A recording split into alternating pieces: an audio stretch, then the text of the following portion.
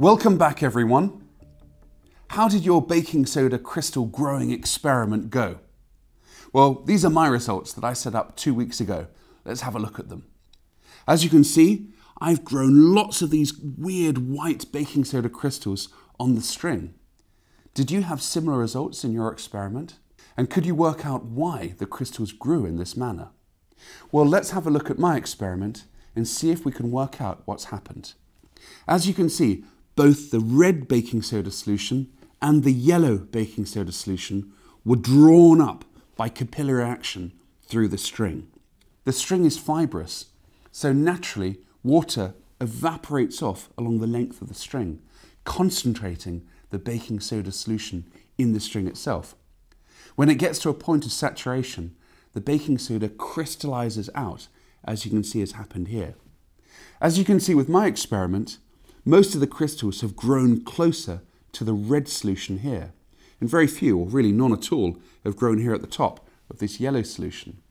This might be simply because the yellow solution is less concentrated, so perhaps it moves more easily along the string, and the more concentrated red solution concentrates and saturates out, forming the crystals more readily. I was a bit surprised how white my crystals are. I thought more of the food colouring would have been taken up and drawn up through the string and concentrated in the crystals, but mine are actually quite white. But interestingly, the crystals that are formed here are a mix of the two colours. If you look closely, they're orange, which makes sense because they're mixing the red and the yellow solutions. This formation process of these crystals is similar to what happens in caves.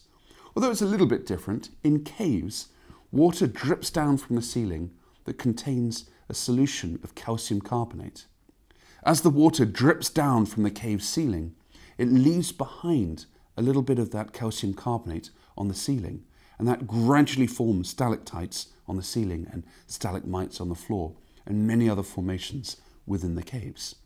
Although it is slightly different, in a way it's similar here because as the water has, has been lost, in this case been evaporated off, it's left behind those concentrations of baking soda, forming these amazing crystal formations that in some ways are a little bit reminiscent of some of those caves.